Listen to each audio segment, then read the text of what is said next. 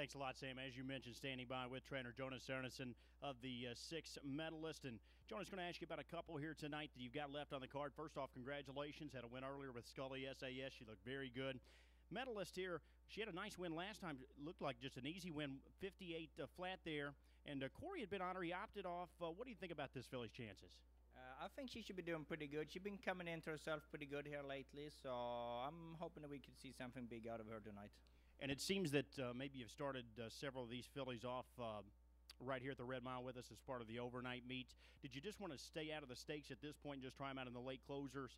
Did you not feel they were ready to go in yet, or what's what's going on with that? Uh, this filly, she didn't have anything else. That's why we put her in the late closer after the stallion series were done up in Pennsylvania there. And uh, Scully, she has been coming along a little slower, and so I just wanted to give her give her a better, easy start and jump right in with the big girls right away. Right, and finally on tonight's card. Now, race nine, you got always in Blackpedia. I happen to think that's a bit of a live long shot in there. You added hobbles to her recently. She seems to really be coming around. Uh, and you've got your main man, Oskar Florhed. He's in the bike there on that filly. Yeah, she been they've been getting along pretty good, so that's why I let Oscar keep on driving her, and the owner is agreeing with that that that's a good match. So we're hoping for some luck there too. And Oscar uh, actually works for you, I believe you told me. Is he uh, looking to have a career in the states, maybe as a driver, trainer, or do you know? Uh, as of right now, I'm just hoping he's going to stick as my second trainer because that's what I need him for. So, but he's probably going to be driving some of them too. So.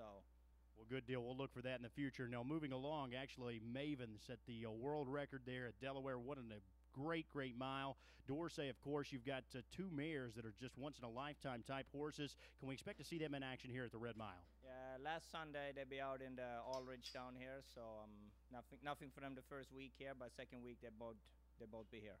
All right, well, we'll definitely look forward to that. And finally, uh, Jonas, one final question. We've got the uh, sales coming up, of course, next week. We've seen a lot of the uh, top trotting trainers over the years Jimmy Takter, Trond Smedshammer, Ron Gurfein, just to name a few that have actually went into the pacing ranks. Do you ever have any plans, maybe moving on down in the future, to uh, move in that direction? Uh, we had a pacer this summer uh, for one of our owners, so I mean, I think I can train a pacer too. But most of my guys are sticking to the trotters, and I'm okay with that whatever you're sticking with right now, it really seems to be working. So best of luck in the future. Best of luck uh, here at the race meet and at the sales. We're going to send it back upstairs to you, Sam.